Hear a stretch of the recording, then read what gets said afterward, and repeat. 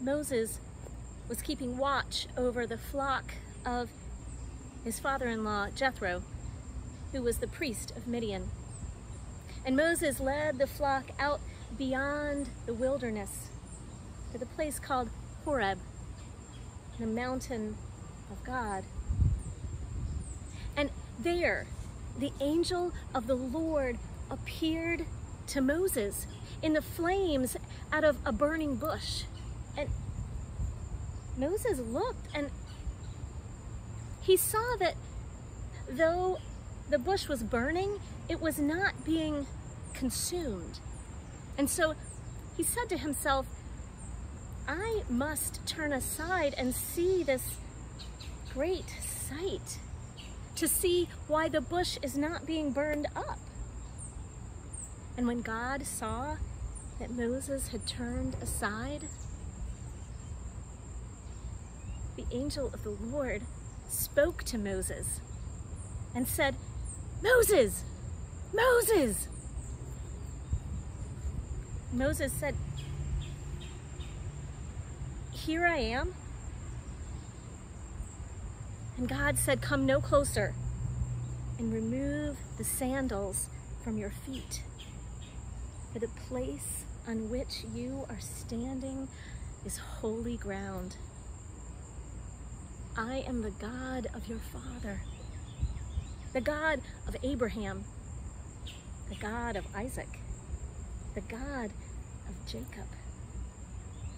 And then Moses, Moses hid his face because he was afraid to look at God.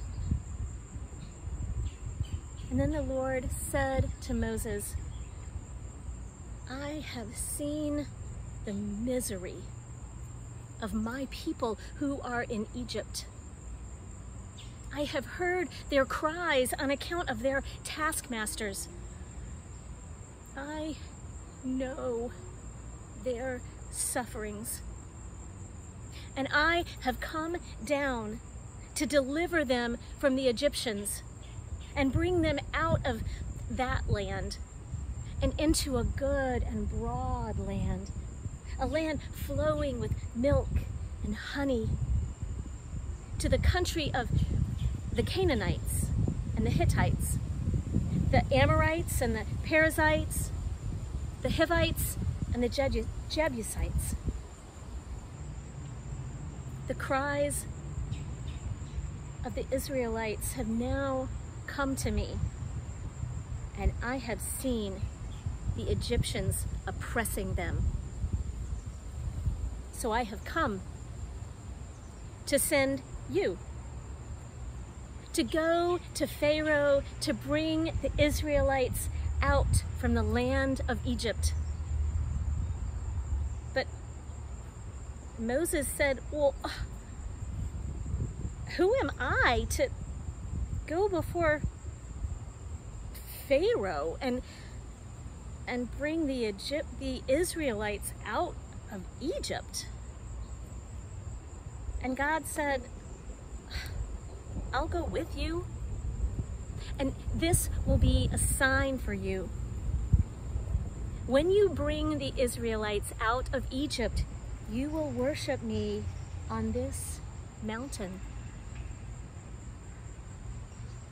And then Moses said, if, if I go to the Israelites and say, the God of your ancestors has sent me to you, and they say, what is this God's name?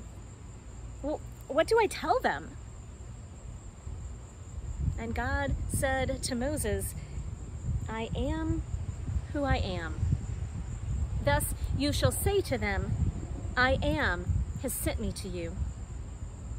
And then God also said to Moses, Thus you shall say to the Israelites, the Lord, the God of your ancestors, the God of Abraham, the God of Jacob and Isaac, has sent me to you.